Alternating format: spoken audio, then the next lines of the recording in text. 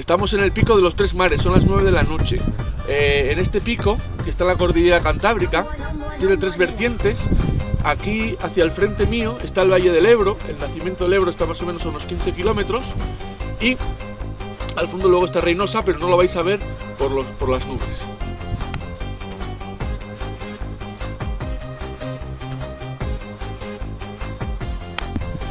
Hacia aquí, hacia el norte, está la, vertiente cantábrica, todo el agua que cae en este pico hacia allá, hacia el norte, va a parar al mar Cantábrico.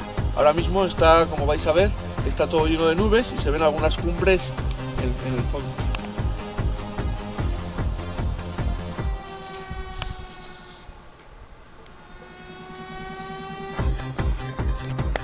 Hacia aquí, hacia mi espalda, digamos que es la vertiente atlántica, todo el agua que cae va al, río Duero, supongo que este voy a ir al Pisuerga de alguna manera, y después por el Pisuerga llegará al Duero y a través del Duero el agua llegará al Océano Atlántico.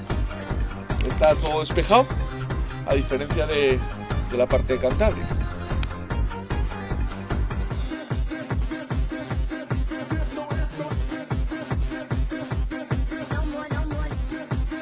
cordilleras cantábricas frenan el paso de las nubes hacia la meseta.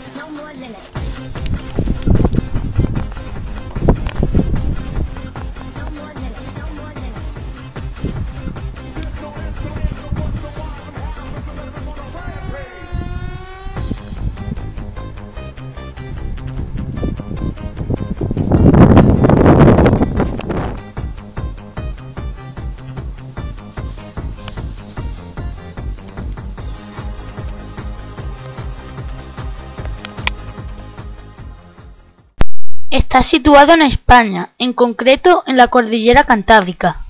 Este pico es el único en el que las precipitaciones que caen en él desembocan en tres mares.